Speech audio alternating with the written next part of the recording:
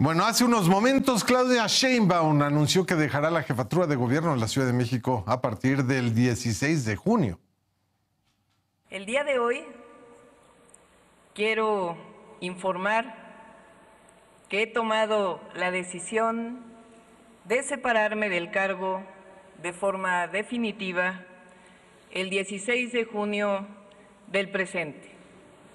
con el fin de llegar a ser la primera mujer en la historia de México